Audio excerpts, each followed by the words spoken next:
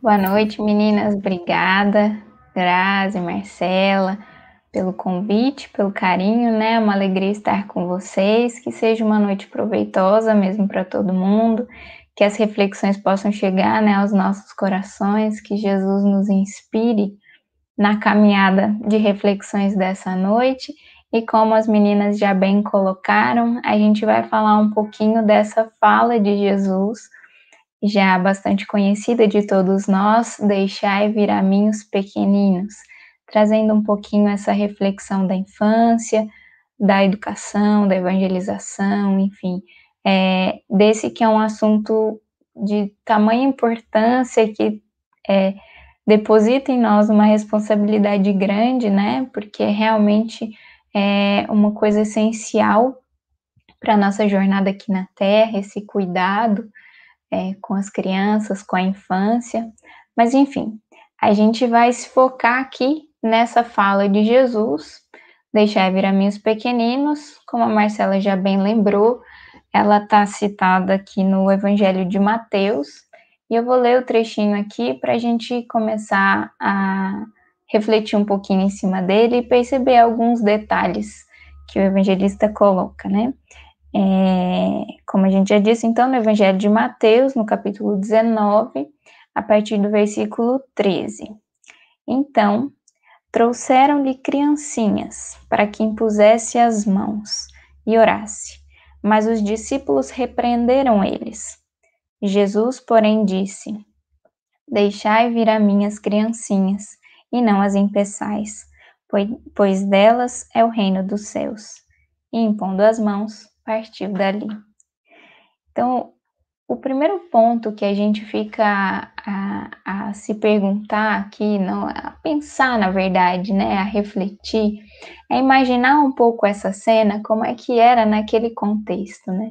Eu fico imaginando sempre é, como é que foi viver aqueles dias quando Jesus esteve conosco aqui na Terra, caminhando é, por entre as pessoas e, e colocando os seus ensinamentos, né, sempre rodeado de muitas pessoas, aproveitando as ocasiões do dia a dia para deixar os seus ensinamentos.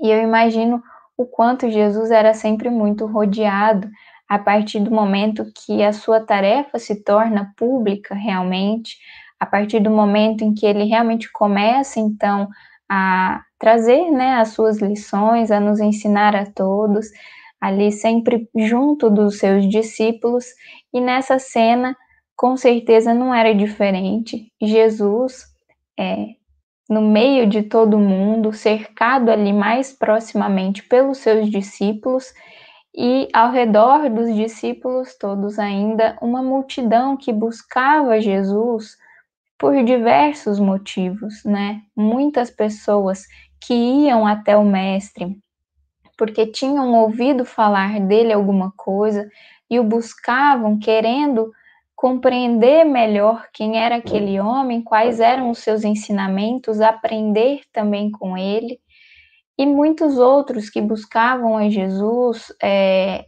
na, na busca de algum auxílio, de alguma cura, enfim.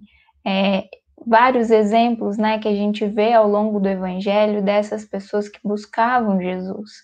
E eu fico a me a pensar como é que os discípulos viviam isso tudo, os discípulos que, assim como a multidão, também estavam começando a aprender um pouquinho mais, né, e conhecer um pouco mais é, desse Jesus. A gente percebe nos discípulos a fragilidade deles ao longo dos três anos que estiveram com Jesus, em muitos momentos é, mostraram as suas fragilidades, porque eram homens e mulheres como nós, é, ainda encaminhada, né, em jornada evolutiva, então muito, muito frágeis também em alguns pontos, da jornada evolutiva, em algumas características pessoais, então também se equivocam o que é bonito para mostrar como nós também nos assemelhamos a eles, e se eles avançaram tanto, estiveram com Jesus, nós também somos capazes de assim fazer. Mas fico pensando como é que eles encaravam toda essa situação, com certeza maravilhados com a figura do Mestre, com a autoridade moral que Jesus tinha, é, eram espíritos e corações que de alguma maneira já, já traziam uma sensibilidade em seus corações, porque quando foram convocados aceitaram o convite e deixaram realmente é, as suas vidas particulares, né? Muitas vezes deixaram é, a própria família para estar com Jesus e segui-lo.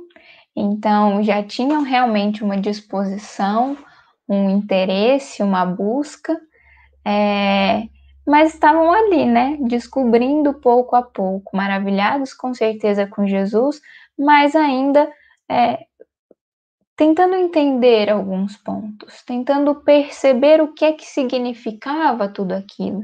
Jesus prometia um reino de Deus, Jesus apresentava uma série de coisas que eles é, almejavam há muito tempo, assim como todo o povo, né, que já traziam lá desde as escrituras e de toda a tradição, é, já esperavam a vinda de um Messias que libertaria o povo, enfim, que traria um novo momento na, na história, é, mas eles estavam ali tentando entender como é que isso tudo funcionaria, né? Então, é, quando a gente vê uma passagem como essa, é, eu me ponho a pensar como é que eles encaravam a questão com toda a multidão. Né? Tinha um certo entusiasmo, com certeza, mas alguns posicionamentos dão algumas dicas para a gente, que é exatamente o que a gente vai ver aqui hoje. Então, o primeiro ponto é, que a gente gostaria de destacar é quem eram as crianças naquele contexto. A gente sabe que falar de infância é um tema que é, teve mudanças muito significativas ao longo da história. A infância ou as crianças não foram sempre vistas ou encaradas da mesma maneira, mas naquele momento eu fico imaginando como é que era a situação das crianças. As crianças que é, até hoje são esse símbolo, né, essa representação é, do ser frágil, dependente, indefeso, que por pequenino é, vem no seio de uma família, acolhido por aqueles que são responsáveis por protegê-lo, por alimentá-lo, por vesti-lo até que ele possa desenvolver-se, né, e ter maturidade ou desenvolvimento suficiente para seguir com suas próprias pernas, mas naquele contexto talvez isso fosse ainda mais forte. É, aqui no Brasil mesmo, se a gente parar para pensar, há não muito tempo atrás, os nossos pais, os nossos avós viviam em um contexto é, em que é, tinha-se muitos filhos, né? E as crianças desencarnavam é, muito na infância. A taxa de mortalidade infantil era alta, né? Então, essa questão da fragilidade era muito mais presente, até porque as crianças sofriam com esse desencarne é, precoce, digamos assim, né? Então, Imagina como não era no tempo de Jesus, com as questões de, é, enfim, de, de todas as facilidades que a gente tem hoje em dia, que naquele momento não existiam, né? Isso deveria ser ainda mais agravado. E no contexto social, eram seres ali que não, não desfrutavam de nenhum tipo de privilégio social ou de poder político, muito pelo contrário, né? É, então, quem eram as crianças? Para os discípulos que estavam ali no meio da multidão, alvoroçados porque estavam seguindo o Messias, porque tinham ao lado essa figura presente, marcante, que prometia é, dividir os tempos como realmente fez, que prometia é, trazer uma série de transformações, uma série de ensinamentos para esses discípulos, talvez ainda um pouco sem compreender tão profundamente qual era realmente a mensagem de Jesus, ao olharem para uma série de crianças que se aproximavam do Mestre, muito provavelmente o que foi que eles pensaram? Que as crianças atrapalhariam aquele momento e que eles não teriam tempo para dedicar-se a elas, que eles não tinham tempo a perder recebendo aquelas crianças. Então, talvez, numa postura, é, um desejo sincero até de auxílio, de ajudar Jesus, se colocaram ali como uma espécie de seguranças do Cristo, né? Uma espécie de protetores, como se eles fossem talvez uma barreira ali para selecionar o que merecia ou o que não merecia aproximar-se de Jesus, o que agregaria ou não né, a tarefa do Cristo, e naquele momento entenderam que as crianças não, não tinham ali, é, talvez, o, o merecimento, ou, enfim, atrapalhariam a situação, e então decidem por repreender e afastar essas crianças, né? É então que Jesus vem e dá uma lição. Mas é, antes disso, eu gostaria de destacar aqui algumas alguns posicionamentos, alguns personagens que existem nesse pequeno trecho, né? Nesse, nessa pequena imagem, nessa pequena cena que a gente está contando aqui. A gente já falou um pouquinho dos discípulos, vamos falar mais deles, mas tem um, um outro grupo de pessoas aqui, além das crianças, que aparece, porque é, a, a, o Evangelho, conforme eu li aqui, ele não fala que as crianças vieram sozinhas. Ele diz: trouxeram-lhe criancinhas. E isso nos mostra que elas foram trazidas por alguém, muito provavelmente adultos, né? Já que ele diferencia aqui as crianças. Essas crianças foram trazidas por alguém. E isso, para mim, já é uma interpretação bastante interessante de mostrar como é que as crianças chegam até Jesus, conduzidas por alguém.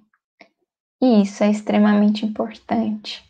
Pensando no nosso contexto hoje, a gente sabe que as crianças são espíritos, espíritos talvez até mais avançados que nós mesmos, que somos hoje adultos e que as recebemos nos nossos lares enquanto pais, mães, enfim, educadores, avós, tios é, e todos os adultos que cercam uma criança.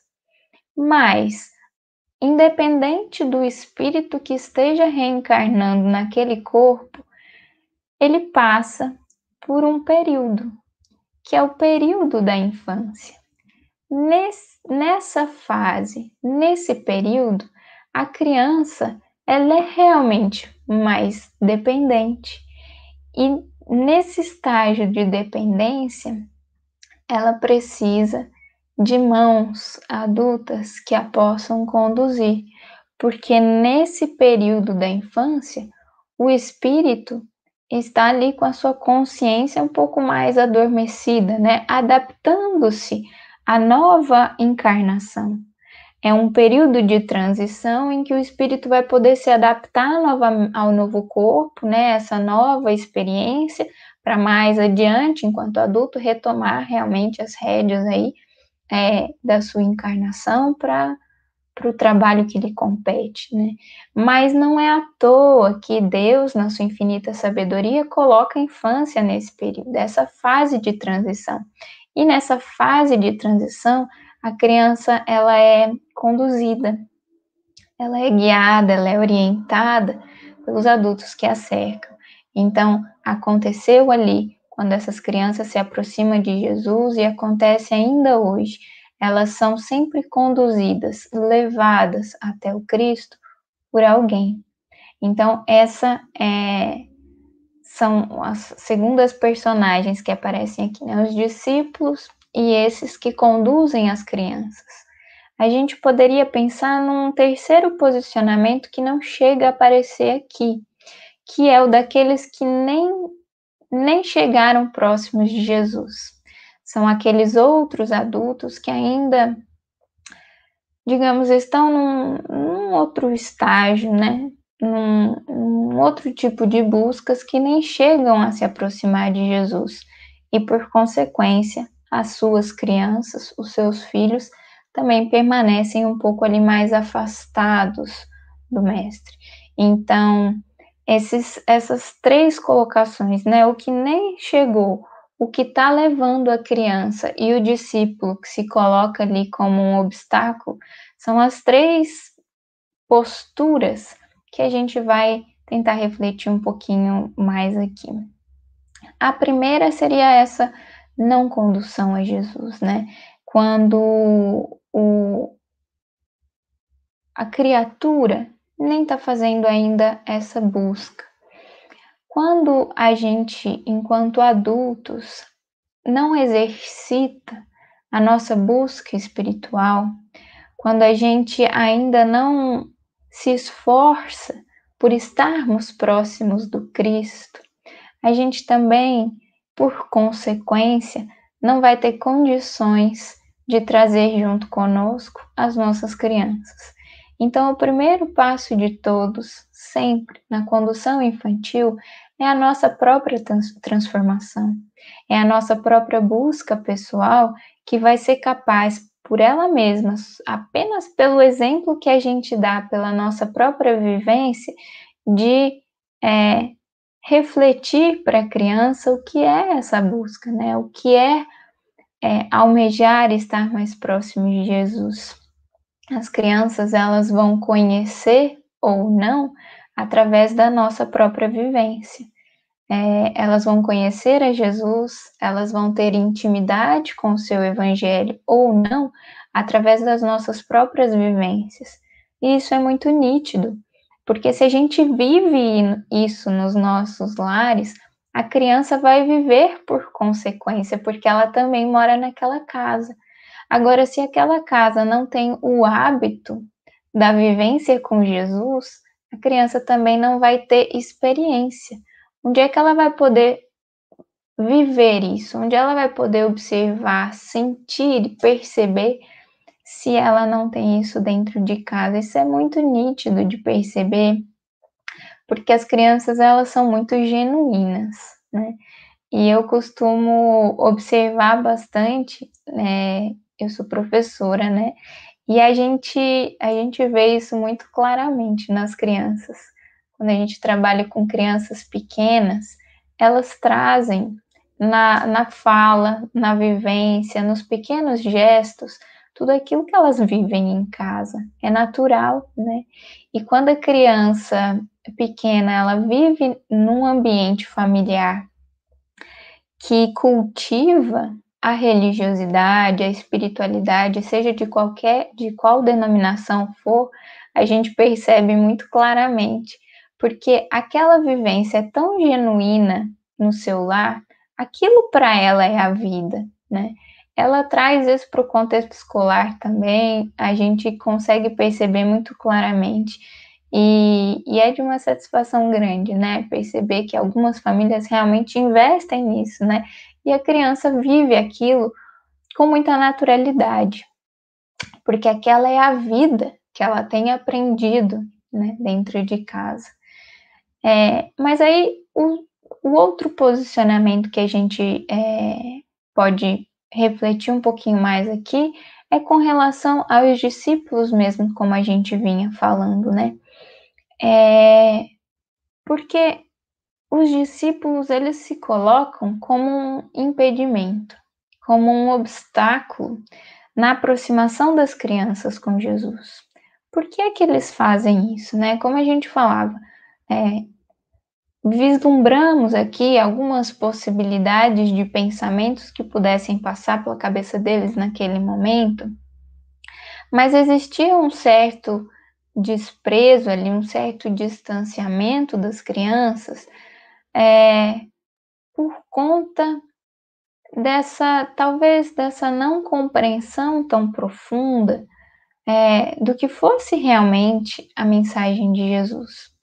Quando Jesus vai colocar aqui né, a questão do reino dos céus, é, essa questão do reino foi muito controversa até o momento da crucificação de Jesus, quando muitos discípulos, até mesmo os discípulos, né, mas é, muitas pessoas esperavam de Jesus o reino de Deus, mas talvez naquele momento eles ainda não estivessem compreendendo o que é que era esse reino.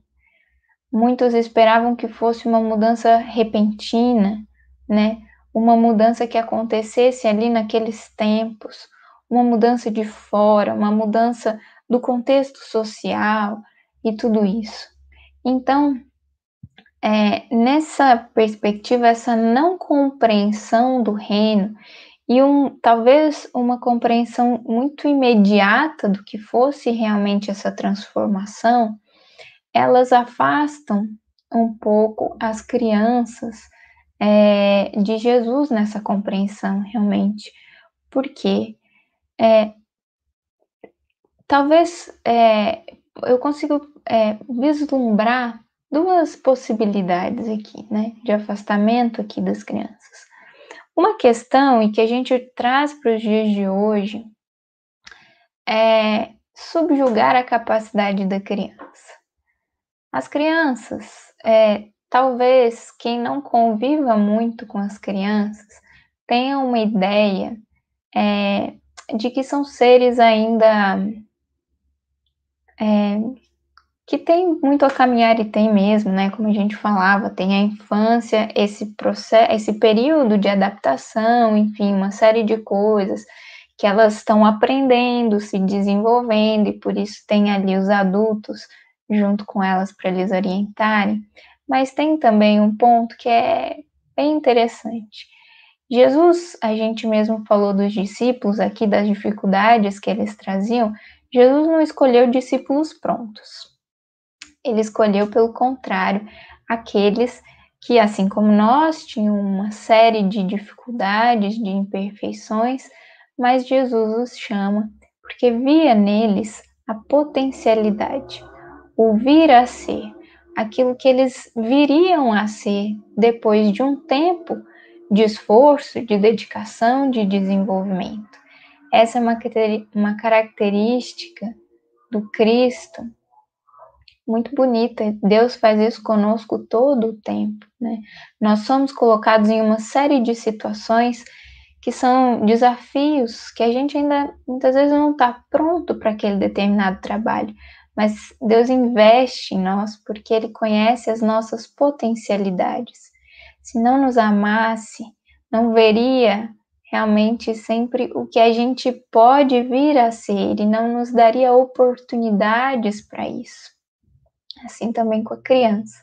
Quando a gente começa a conviver mais com as crianças, a gente se surpreende com o tanto que elas nos oferecem com o tanto que é, em idade às vezes muito pequena, assim, né, muito tenra, as crianças elas já nos oferecem tanto, já nos mostram tanta maturidade, tanta compreensão, às vezes de assuntos complexos, sérios, né, de coisas que talvez nem a gente mesmo esteja é, compreendendo tão bem, elas conseguem mostrar é, que, apesar da infância, apesar do momento da transição, a maturidade, muitas vezes, do espírito já fala, né? já é capaz de mostrar um pouco a que veio. Então, esse olhar do adulto para a criança é extremamente importante, o olhar da potencialidade, o olhar de, de perceber o que aquela criança pode vir a ser, né? É, todas as virtudes, as potencialidades que a criança já carrega e de, de coisas que ela pode sim desenvolver. É esse o grande investimento que a gente pode fazer, né, com essa atenção voltada para ela, de dar também nós, na posição que estamos, também possibilidades e oportunidades para o seu desenvolvimento. Mas também tem uma outra questão que às vezes vai afastar as crianças de Jesus ou nesse caso da passagem aqui, né, que faz os discípulos é, tentarem impedir que elas avancem até o Cristo, que é mais uma vez essa questão do imediatismo, porque talvez pensassem que o reino de Deus, como Jesus falava, é, deveria ser implementado ali por aqueles tempos e a criança ainda pequena em que ela ia poder contribuir, né? Mas a gente se esquece de que a construção do reino ela tem um tempo diferente. Ela acontece no tempo de Deus, né? E esse tempo, ele pode ser curto ou longo, a depender da nossa própria dedicação, enfim. Porque o reino, na verdade, é uma construção íntima e ele só se dará na Terra, num contexto social, se a gente pensar né, no reino é, mais concreto que possa estar acontecendo na Terra, no mundo, um dia chegará também, mas antes ele é construído dentro de cada criatura. E ele só vai ser construído então fora, no exterior, na medida que um a um os homens e as mulheres forem sendo transformados. Na medida que cada criança que nasça possa receber auxílio, amparo, condução dos seus pais para levarem a mais perto de Jesus, para que aquele coração possa ir se transformando. Na medida que ele se transforma, ele vai ser exportado para o mundo como um coração transformado, como uma pessoa melhor, um homem de bem, talvez, como a gente vê lá no Evangelho, com dedicação, com esforço, com tempo, a gente vai ver cada vez mais homens e mulheres de bem vivendo no mundo. Então, nesse contexto, a gente vai ver uma transformação íntima, pessoal, de cada indivíduo e depois, por consequência, também coletiva. E aí, então, vem a chave de tudo isso: é perceber que quando Jesus convoca, aqui puxa a orelha, digamos assim, dos discípulos e diz: Deixai vir a mim as criancinhas e não as impeçais, pois delas é o reino dos céus. Jesus coloca uma advertência muito importante aqui. Deixa que elas venham e não as impeça. Não sejam vocês os obstáculos para que elas possam chegar até mim.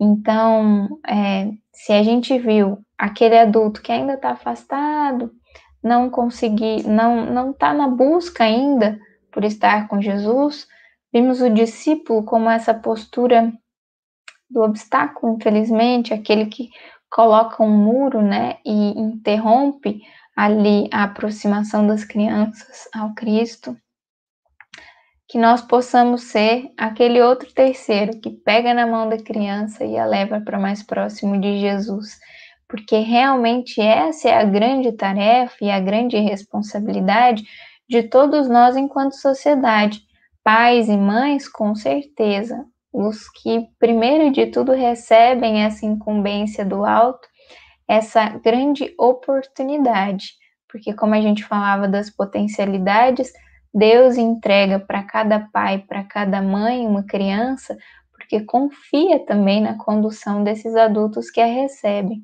Mas também no contexto geral de todos nós que somos adultos, conscientes e que já somos é, ou almejamos, né, estamos aí na caminhada para estarmos cada vez mais próximos de Jesus, assim como os discípulos, nós também temos responsabilidade dividida aí, né? Somos também coparticipantes dessa responsabilidade de condução de todos para Jesus, porque essa é, enfim, uma tarefa educativa que nós podemos e devemos para com as nossas crianças. Apresentá-la a Jesus, levá-las para mais perto do Mestre, porque Ele é o grande caminho, ele é o grande ensinamento de todos nós para que viemos ao mundo. Né? Eu gosto sempre de lembrar essa questão do livro dos Espíritos. Qual é o objetivo da encarnação? E os Espíritos vão nos dizer que é o caminho da perfeição. Então, se a gente está aqui para viver no mundo é, as experiências que a matéria nos dá, é para que possamos caminhar e nos aperfeiçoar, desenvolvendo-nos rumo a essa perfeição que o Cristo já nos, nos mostra né, como é. Ele, que é o modelo de perfeição que a gente tem, ele que nos apresenta, por sua vez, a Deus, né, que traz é, de uma forma mais concreta a, a, a presença divina para mais perto de nós, que nos mostra como é viver em comunhão com Deus. Então, é esse o grande caminho que a gente pode e deve fazer com as nossas crianças, aproximá-las de Jesus cada vez mais, para que Ele, Mestre por excelência, possa também tocar o coração infantil. As crianças são muito sensíveis e elas é, vão criando desde a infância essa intimidade com Jesus, com seus ensinamentos. Como eu dizia, né, vivem com naturalidade quando vivem isso desde a infância, né? Desde o começo dessa encarnação, quando a gente sabe é o momento em que são também mais maleáveis para receber ensinamentos novos. Então, que a gente possa estar cada vez mais com Jesus, percebendo que essa criança é sim o futuro do coletivo, o futuro da humanidade, mas também o futuro dela mesma, né? A criança, a infância, como essa grande oportunidade que a gente tem de auxiliar esse espírito na construção do seu próprio futuro, semeando ali o Evangelho, que é para nós o grande roteiro de transformação é, de vida, né, onde poderemos avançar rumo a Deus, rumo a estarmos realmente mais próximos de Jesus. E essa, essa semeadura ela só pode ser feita pelo caminho da educação. Se a criança ela é o futuro, ela é também o presente, porque é a partir de agora que a gente começa a semear então esse futuro. Então, nos nossos trabalhos de evangelização, seja na casa espírita, seja no lar, né, no trabalho dia a dia, na, no exemplo que a gente traz para a criança, nas conversas, na vida, quando a gente convive com uma criança, e aqui falando de família, né, a gente está mostrando para a criança como é viver nesse mundo.